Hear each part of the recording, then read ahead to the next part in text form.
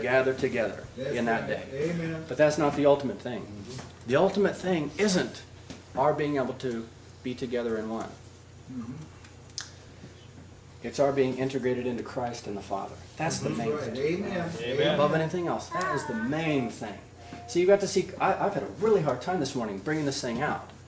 But that's the main thing. When God is conforming us, He's conforming us so that we can have greater and deeper fellowship with Him. That's the main thing to God. Is for that to happen. And as you find, you'll find that this is the case. Whenever, as you become more like Christ, you will have richer fellowship with the Father. Mm-hmm. That's the way it works. Mm-hmm. Because that's the design of the work of salvation. Jesus, when he died, how appropriate that he's thinking about this kind of a time when we're going to be joined with him. Of course, because when he dies, he lays a foundation for that work to get, get, get underway. Mm-hmm.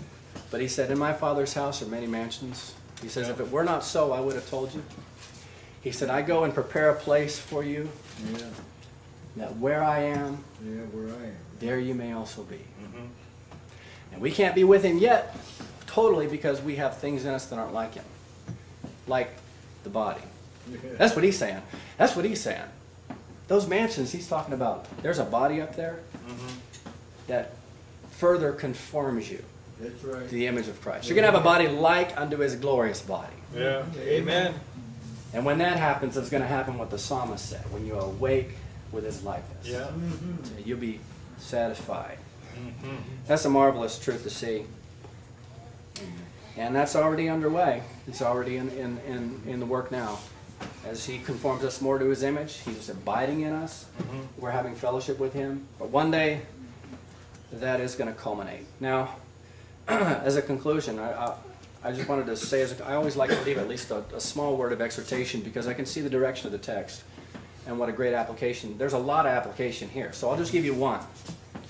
When you think of all these things, the confirmation to the image of Christ, how it's underway, and how necessary it is to be joined to one another and to be joined to the Lord. I mean, you're not going to get into heaven if you're not like Christ. Mm, that's right. That's right. So this isn't a nicety. This is like a critical matter. We have to. It just has to happen. Mm-hmm. Then you can see the necessary element of the Spirit's ministry here, because we are changed as we look to the Lord through the ministry of the Holy Spirit Amen. as by the Spirit mm-hmm. of the Lord. Now I'll tell you how serious it is to not obey the exhortation. It's just four words, but I'll tell you, it's a pretty, pretty serious exhortation. Quench not the Spirit. Uh huh. Mhm. In view of this, how can confirmation take place without the Spirit's ministry? I mean, is God just going to kind of, someone's just going to ignore the Spirit all through life, and God's just going to make it up in the end and just make sure to conform them on the inside so He fits in? Is that going to happen in the end? No.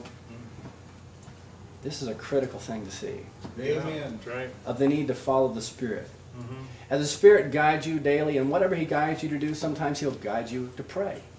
Pray for yourself, pray for others. Sometimes He'll guide you into some kind of a ministry, something, something to do. Sometimes He'll guide you away from sin, of sell, send up the alarm, stay away from this. But this thing, there's, this will help you to continue to follow the Spirit's ministry. That in all these things, the greater thing the Spirit is doing is conforming you more to the image of Christ. That's right. Amen. And particularly in this time when you're in the Word and the Spirit's opening these things to you. He's helping to conform you to the image of Christ. So it's critical, brethren, that in every way the Spirit leads us to continue to submit to what He's doing, to cultivate that submission. Mm-hmm. Because He's going to make you like Christ. In the end, you're going to be glad for having obeyed and followed the Spirit's ministry. And you're going to end up completely like Him. You'll be mm-hmm. like Him as He is. So thank you, brethren, for your time. Amen. Amen.